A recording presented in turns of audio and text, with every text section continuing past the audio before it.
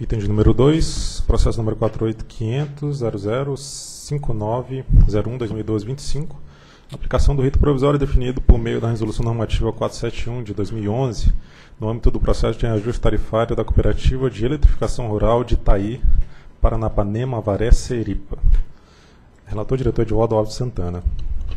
O caso aqui é de uma cooperativa recentemente transformada em permissionária, que nós deveríamos aplicar agora o rito de revisão que não foi ainda aprovado. A proposta, ele é o item 5 da pauta de hoje, que é a reabertura do processo de audiência pública. O processo já foi trazido à pauta pelo Romeu, foi retirado e agora vai ser novamente submetido à audiência pública.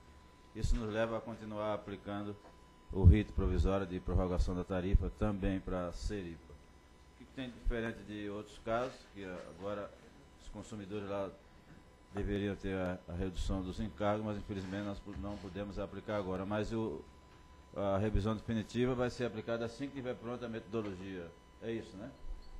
É isso, né, Romeu? Aprontou, é a gente aplica. Perfeito. Eu acho, não sei se eu tenho que colocar isso no dispositivo. Não precisa? Ok. Então eu vou passar direto para a leitura do dispositivo de voto.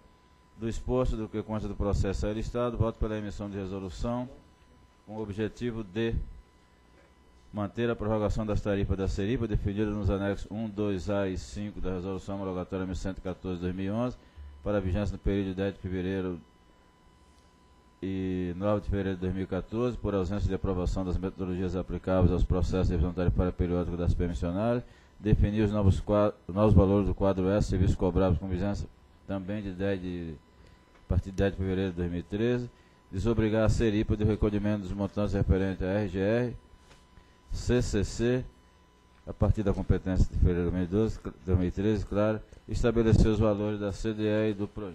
É o voto. Quem em discussão? Só, na verdade, doutor Edivaldo, uma precisão melhor com relação a essa questão. Na verdade, o item 7 diz respeito à questão do PRORET, do reajuste. O que está pendente, que, né, que determina essa prorrogação, é a falta de definição da revisão, né, que também está pendente da mesma forma, mas é... É só esse, voltar para a pauta. né? É, esse será... Não vai Então- precisar de nova audiência. Não, Não, não, não. Ele possivelmente será deliberado aí no, ao longo do mês no de mês de fevereiro. fevereiro. Voto. Ok, votação? Voto com o relator. Também voto com o relator.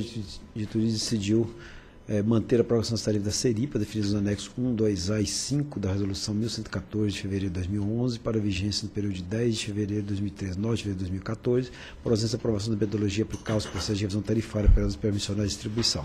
Com os demais detalhes colocados no voto do relator.